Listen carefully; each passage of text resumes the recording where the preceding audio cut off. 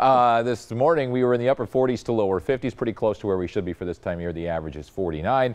Lac La Belle looking great a little cool, maybe to do some uh, water skiing or whatever. It was temperature there. Uh, it says Port Washington, but it's Oconomowoc. Temperatures are in the lower 60s. Completely opposite tonight for high school football action than last Friday when it was uh, near 90 degrees heat index during the games. This tonight, 56 degrees, mostly clear. Northeast wind at 5 to 10 by the end of the game, 53.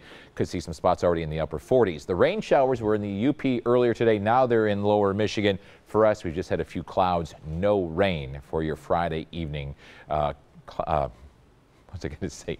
Outside activities. There we go.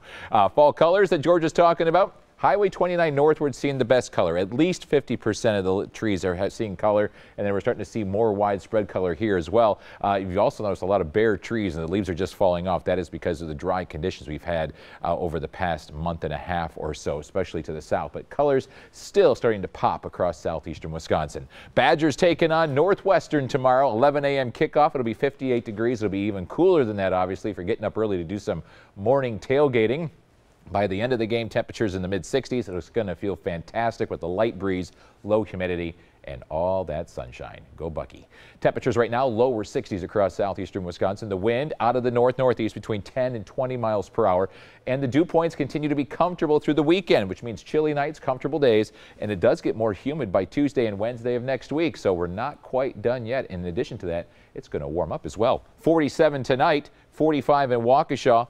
38 in Ripon overnight tonight and tomorrow afternoon, like today, low to mid 60s. Very quiet on the future forecast. No rain in the forecast, it looks like until at least Tuesday night and into Wednesday. Here's your seven day forecast 63 on Saturday, 68 Sunday. That is an 80 by Tuesday, and it gets humid as well.